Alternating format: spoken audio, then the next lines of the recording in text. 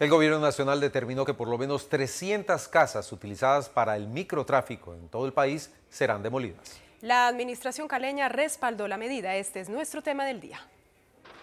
Esta es una de las casas de vicio que con anterioridad fue identificada por las autoridades en Cali.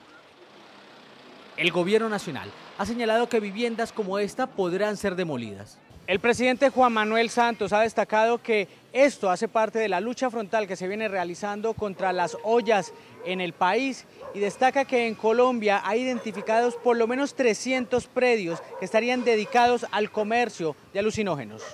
El secretario de Gobierno destaca como positiva la medida para evitar que estos sitios sigan siendo utilizados por la delincuencia. Y eso es algo que nos preocupa mucho, que puedan ser nuevamente utilizadas por eh, personas de estas organizaciones que logren eh, reciclarse o que logren nuevamente constituir organizaciones criminales, de modo que quitándoles esos inmuebles, pues eh, se les dificulta mucho más poderse reorganizar.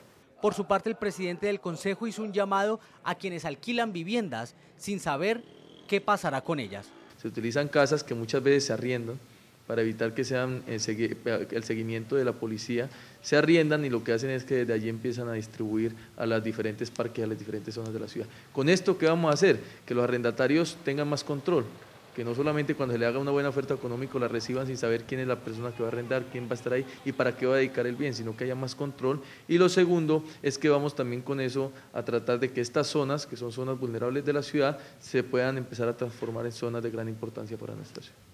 Si los arrendatarios desconocen que sus viviendas están siendo utilizadas para el expendio de alucinógenos, podrían ser indemnizados.